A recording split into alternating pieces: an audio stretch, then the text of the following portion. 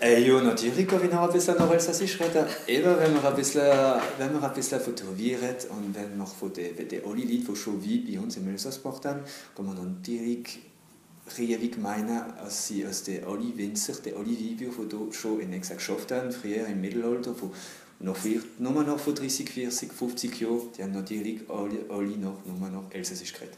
Elsassisch ist im Elsass geredet seit ja, mehr als 1500 Jahren. Ähm, seit der 7. oder der 8. Jahrhundert.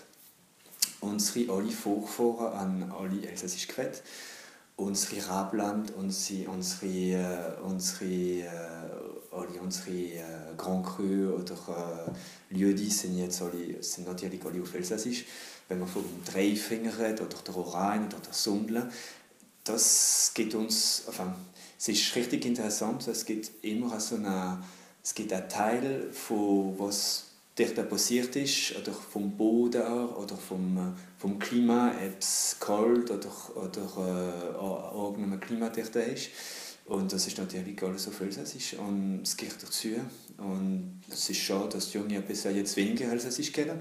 Und wenn man Elsassisch redet, kann man auch noch Deutsch reden und Englisch und es gehört alles dazu.